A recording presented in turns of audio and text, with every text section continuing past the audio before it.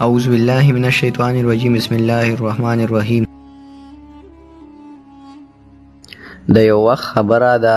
چې یو الک و چې د هغه تعلیم هم نه او د شکل نه هم خیستا نه و د هغه یوه د ترور لور وه چې هغه یې خپل مور او پلار ته یادوله چې زه به د دې سره واده کوم، چې مور او پلار ورله د هغې رشتې پسې لاړل، رشته یې ورله وکړله چې په هغه وخت کې جینۍ خمخا وکړله، چې څه وخت پس یې نکاح وشوله، چې کله ورسره. هغه جینۍ په کور کې لږ وخت تیر کو نو هغې ته پته ولګیده چې دا خو یو جاهله انسان دی او د څه نه هم نه دی خبر او جینۍ په دې سوچ کې وه چې نه خو د ده څه شکل څه ښه دی او نه پکې څه عقل شته د ده سره به زما ټوله زندګي څنګه تیره شي ورځ په ورځ باندې د هغې جینۍ په زړه کې د خپل خاوند دپاره په زړه کې نفرت پيدا کېدل شروع شول، خو څه به يې نه ويل خاموشه به وه، د واده نه درې څلور ورځې پس عام طور باندې هره جينۍ د خپل مور او پلار کور ته ځي، دا جينۍ هم خپل مور او پلار کره لاړه او د دې په زړه کې دا خبره وه چې زه به اوس دوباره هغه کور ته هيڅکله هم نه ځمه، خو په هغې کې دا جرئت. نه و چی د خپل مور او پلار د مخی یی دا خبره کړی وی چی زه هلته نوره به نه ځم ځکه چی یو خو یی ډیره نږدی رشته وه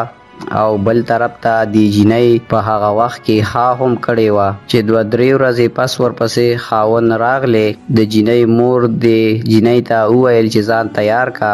خاوند دې راغلی دی چې ورسره لاړه شي. چې جینۍ ځان تیار کړو او د خپل خاوند سره روانه شوه. هغوی دواړه په یو کلي باندې تېرېدل چې دې ښځې یې دې خاوند ته وویل، زه تږې شوې یم او ما له د اوبو څچل وکړه. چې خاوند یې اخوا دېخوا تلاش وکړو چې یو کویه یې په نظر راغلې، د هغې خواله ورغلې او بوقه یې راواغستله او کویه ته یې ورښکته کړه. چې دغه وخت کې شیطان د دغې جینۍ په زړه کې یو خبره ور واچوله چې دې خپل خاوند له کویا ته دیکا ورکړه کویا ته یې ګوزار کړو چې دې جینۍ زړه له دا خیال راغلې اوس به دا مړ شوی وي او دده نه زما د ټول عمر زندګي خلاصه شوه او بیا واپس خپل مور او پلار کور طرف ته راغله او خپل مور او پلار ته یې مکر شروع کو او تاسو ته خو پته ده چی ښځی خو په مکر کی ډیری مخکی وی چی مور او پلار ته تپوس وکړو چی څه چل شوی دی چی خاوند زه په یو ځان لا ځای کی کینولم او ماته یې وی چی ته انتظار وکړه زه راځم. او زه یی یوازی په یو شړ ځای کی کینولی وم او زه ډیره یریدم چی که چرته یو ناشنا سړی په ما باندی راشی نو زه به څه کوم یو طرف ته زما د مرګ خوم خطره وه او بل طرف ته زما د عزت خوم خطره وه هغه ډیر بی پروا سړی دی. ځکه تي زه واپس راغلم. دي خبري اوريدو سره دجينۍ پلار او مور له هم غوسه راغله چي هغه زمونږه لور داسي يوازي ځای کي پريښوده او په خپله تي بي پروا لاړو دا دومره بي وقوفه انسان دي. دوستانو اوس د هغه ځای خبره واورئ چي کله ددغي جينۍ خاوند کويا ته پريوتو نو هغه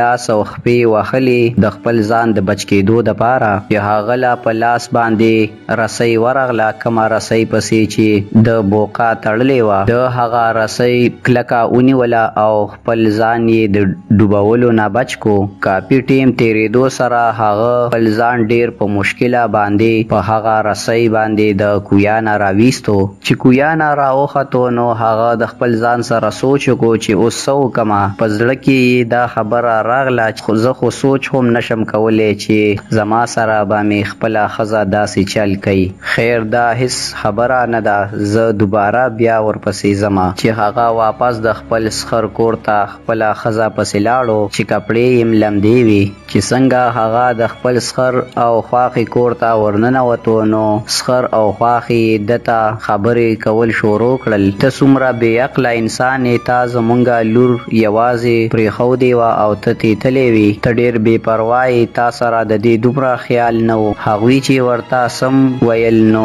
هغه ده په خاموشۍ اورېدل او په اخره کې یې ده وویل چې ها زما نه غلطي شوې ده. چې څه هم شوي د هغې د پاره زه معافي غواړم او به هر حال زما سره د خپله ښځه پرېدوئ چې خپل کور ته يې بوځم او په مونږه باندې ناوخته کېږي. جينۍ مور او پلار ته پته ولګېده چې دا په خپل کار باندې ډېر شرمنده دی چې هغوي بيا خپلې لور ته وويل چې. چی لوری دا څه خبره هیڅ څه خبره نه ده او ته د ده سره لاړه شه اوس خو ورسره دغه جینۍ روانه شوه خو د هغی په زړه کی بار بار دا خبره راتله که دا انپړه و او که بی عقله و او که شکل یی ښه نه و خو زما د مور او پلار د مخی ده زما په ګناه باندی پرده راواچوله د ده زړه ډیر غټ دی که ده چرته زما مور او پلار ته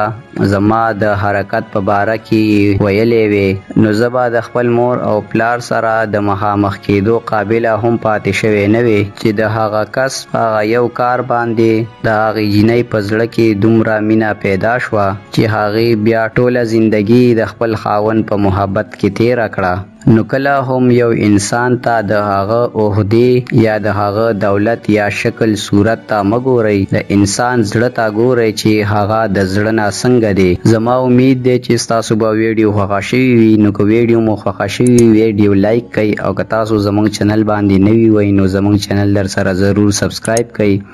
ځکه چې بیا کله هم موږ نوی ویډیو اپلوډ کوو هغه به تاسو ته په وخت در رسی نو د خپل ځان ډیر ډیر خیال ساتئ اجازت غواړم الله پامان.